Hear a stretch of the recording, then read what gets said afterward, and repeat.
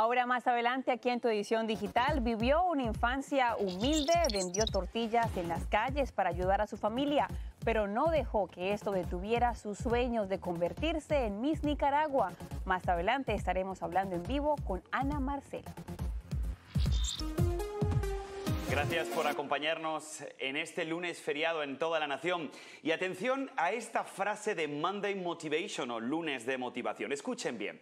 Si pudiera viajar años atrás, le diría a esa niña que anda vendiendo en las calles, sí podés. Tus sueños no dependen de tu poder económico, no te limites, no le hagas caso a las personas, tenés potencial y lo sabés. Toma tu poder y alza tu voz. Borja, con esta frase, Ana Marcelo cautivó a Nicaragua y con su belleza, humildad, entrega y esfuerzo se llevó la corona de su país y adivinen qué, ella está aquí en vivo en la edición digital. Ana, bienvenida a tu edición digital, felicidades. Tú has dicho en redes sociales, no se es Miss si no se ama a su país. ¿Qué significa para ti haber ganado esa corona? Hola, ¿qué tal muchachos? Muchísimas gracias por invitarme. Estoy contenta de poder compartir con ustedes.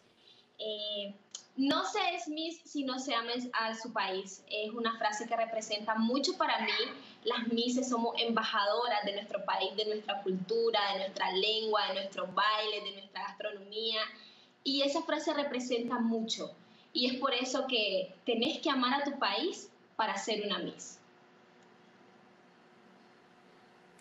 Ana, ¿qué te gustaría cambiar de tu país precisamente ahora que durante todo un año vas a tener la atención mediática puesta en ti? ¿Cuál sería tu mensaje? Mi mensaje siempre va a ser eh, el motivar a mi gente, el que mi gente crea en, su talento, en que creamos que tenemos potencial, porque sí lo tenemos, tenemos somos un país lleno de recursos, eh, de muchas cualidades y ese es mi principal mensaje, que los nicaragüenses creamos en nosotros mismos. Ahora, Ana, hay una fotografía que me emocionó muchísimo y te ves tú poniéndole la corona de reina a tu bisabuela. ¿Qué le dices tú a esa bisabuela que seguramente te acompañó cuando estabas niña vendiendo tortillas para poder pagar por la educación y los gastos básicos? Ahí estamos viendo en pantalla la fotografía. Mi abuela, mi bisabuela, mi mamá y mi tía son cuatro mujeres que yo admiro muchísimo. Ellas para mí representan, representan trabajo digno, lucha, esfuerzos, son unas guerreras. Ellas no son víctimas de las circunstancias ni de las limitantes, son unas guerreras que han salido a flote, han sabido cómo mantener a su familia, son esa base sólida que nos han mantenido a flote a nosotros. Y me sentí tan emocionada, orgullosa y satisfecha de poder llevar esa corona a mi casa, mostrársela a esas mujeres humildes, guerreras, trabajadoras. Y no sabes cómo me llena de satisfacción. Eh, no tengo palabras para describir ese sentimiento.